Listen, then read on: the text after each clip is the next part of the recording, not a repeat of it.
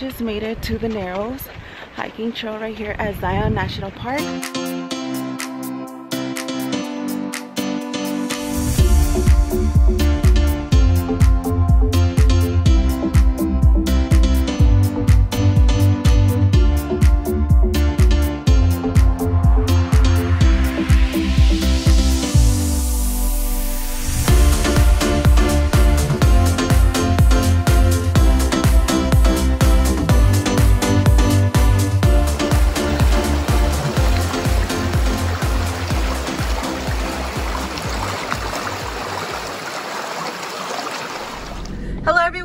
To our channel. My name is Kimberly. And I'm Roxy. And together we are Twin Travel. So for today we have a couple of tips if it's your first time going to Zion National Park.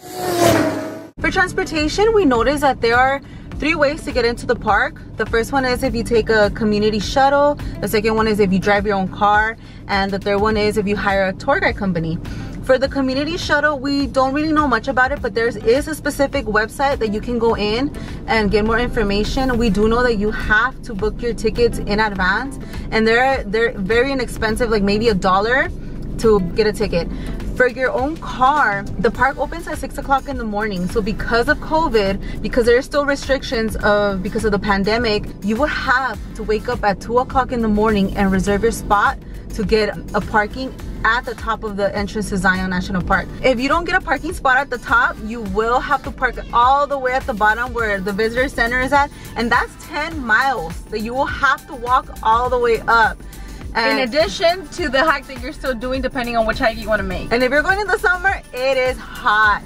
For the third one, we chose guide company. We got Zion Guru. Zion Guru is located inside La Quinta Inn um, Hotel. You don't have to stay there in order to get their services, but they do charge $40 to drop you off and pick you up from Zion, which I think was a, a cool idea because since we're first timers, we don't know. Yeah, and also we were limited on time because we were only there for one day. So that saved us time for not having to wake up at, you know, 2 a.m. and go make line or, or having, you know, to find other ways to get there super early. So it was very convenient for us.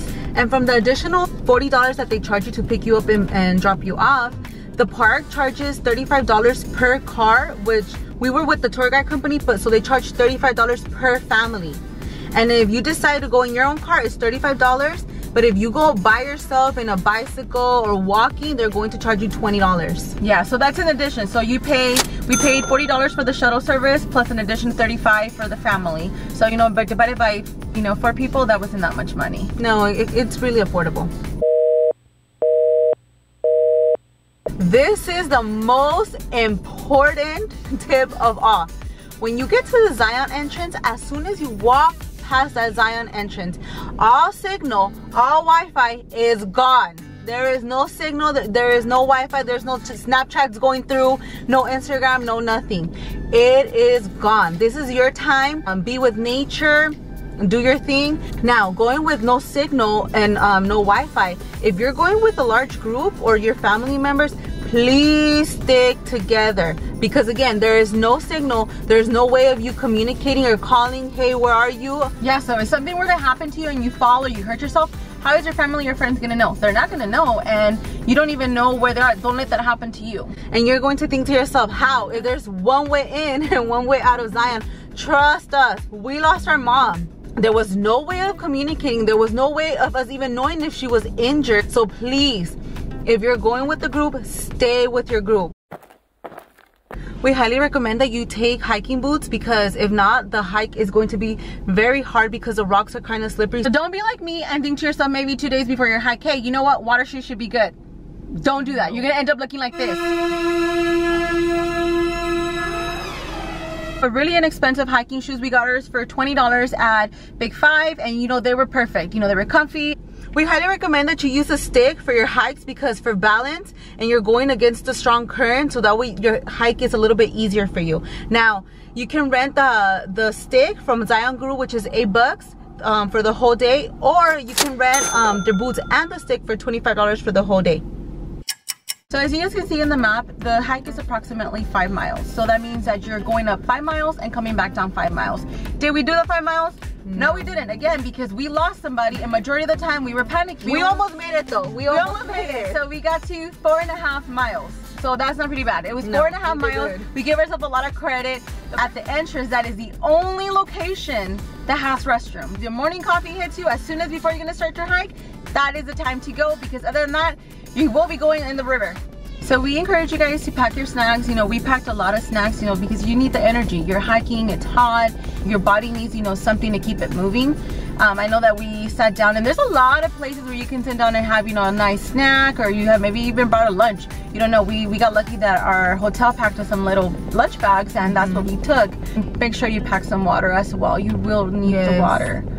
it, it's really hot you start to sweat you know you're exercising you need a lot of water we highly recommend pack a lot of water so without further ado i hope you enjoy our vlog yes.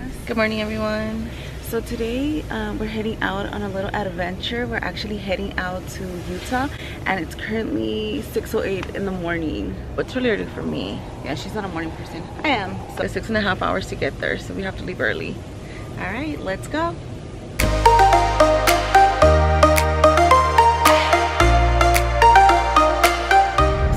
To Vegas and it's two and a half more hours to go till we get to Utah. So we decided to just stop by, you know, stretch a little, pump some gas, and then see how lonely the strip is. Yeah, and it's pretty hot outside, but we're excited. Hey,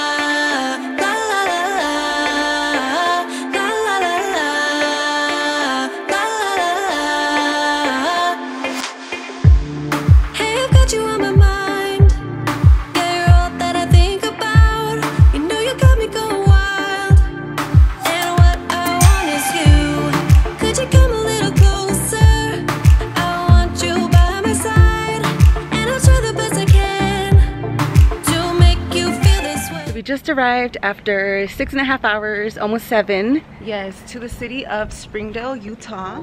we are actually staying at la quinta inn which is supposedly a budget friendly hotel we don't know if it is because we kind of booked this trip like super last minute and it was 338 for three days two nights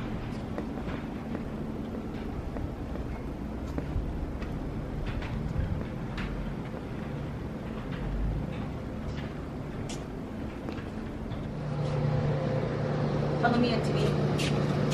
Come on. I'm show you.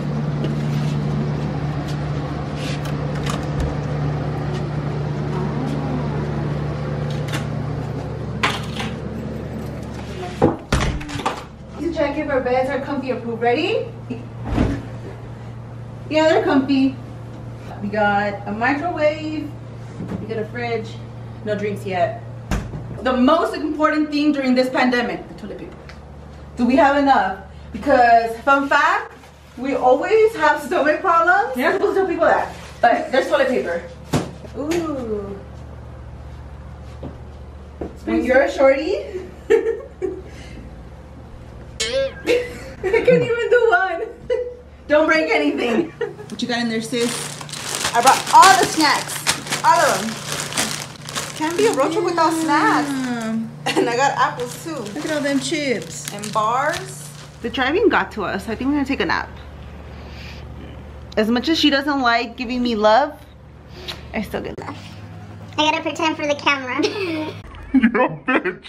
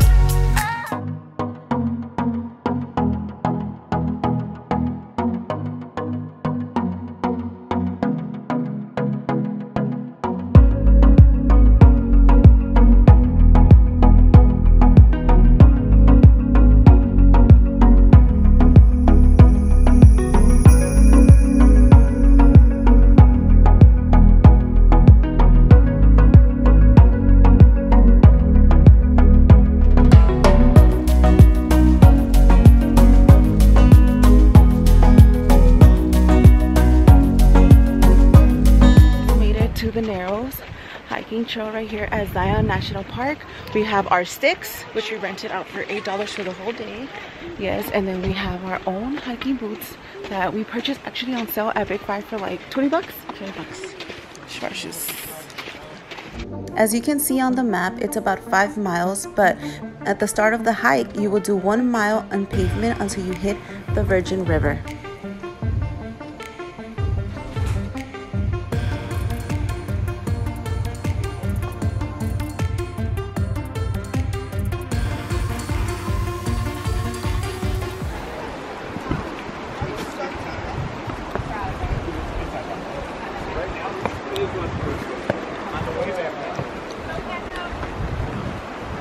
Are you ready? I am ready. Let's do this. So we just got to the part where we have to hike it up in the water and I'm so excited. Look how gorgeous this is.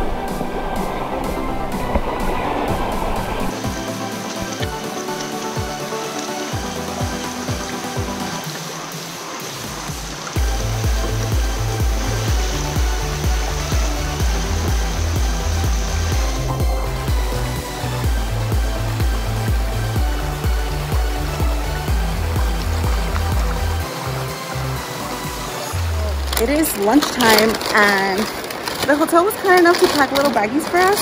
So we got What'd a you get? a juice box, but apple juice. Okay. I got an apple And what else? and I also got cornflakes, but I got my ruffles. Wait, but did they give out milk? Oh, they did. They gave out milk too. Damn, it's like Uh, Christmas. And I have candy, cheeses, all kinds of goodies. This happens when you're short. Every desire. If you have long legs, this will work for you. Whatever your short nose. It's uh,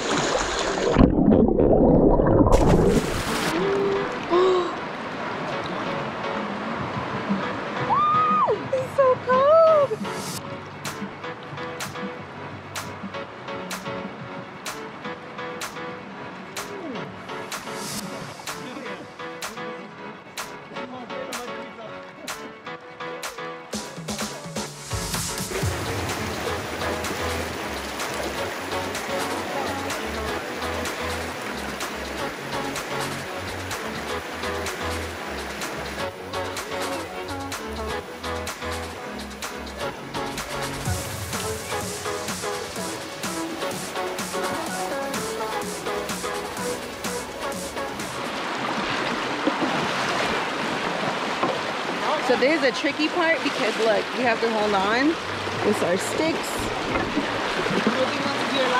Yeah, because it's very slippery. Super slippery, so you have to be careful. That's what I mean. How are you doing back there? It's so much fun. I love it. oh my god, here. It's still on. Go.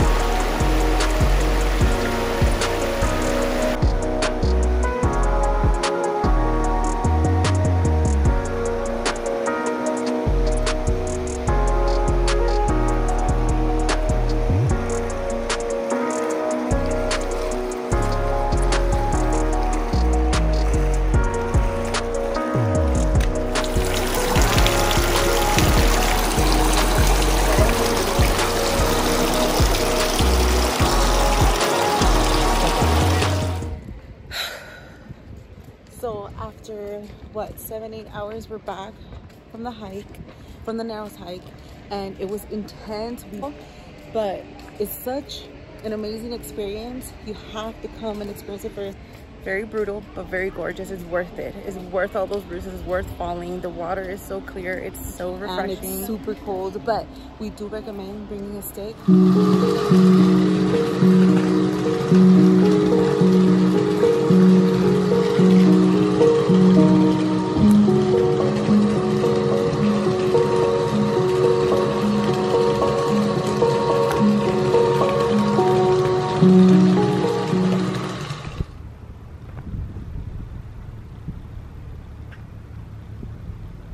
Are you ready to check out? No, I don't want to leave. It's so sad. Woke up really sore. Really, really sore with bruises. But hey, those are the souvenirs that we're taking home. All right, time to go back to the lake. Saying goodbye to our beautiful hotel and the scenery.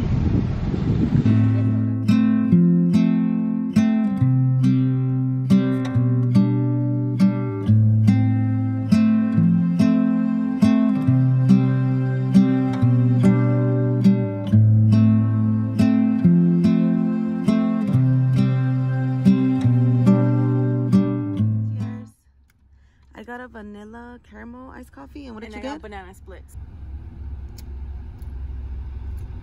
It's really good. It doesn't taste like a banana split, but it tastes chocolatey. Yummy.